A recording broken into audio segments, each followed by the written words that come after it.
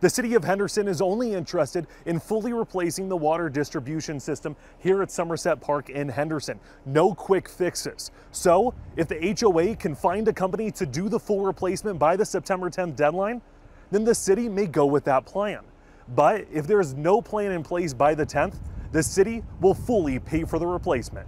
Mayor Romero says replacing the water system would likely cost between $400,000 and $600,000, and a tax lien would be put on the residents, costing them around 200 extra dollars a month per property. The water distribution system is around 40 years old, and residents claim there have been leaks for several years, causing damage to the complex and even sinkholes in the community but this replacement system would be compliant with local and state laws. Do you think you and your wife will be able to survive a price increase?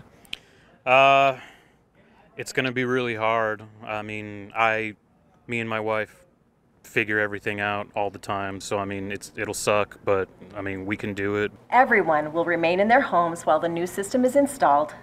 There will be minimal disruption and water surfaces will remain available during repairs.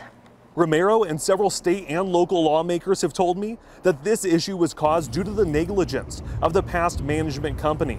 Residents tell me they just want a new system, but for the least amount of money. The HOA tells me that they will be holding a board meeting sometime this week to discuss their options moving forward and see if there's a plan they can come up with that's different from the city's. Reporting from Somerset Park in Henderson, I'm Ryan Ketchum.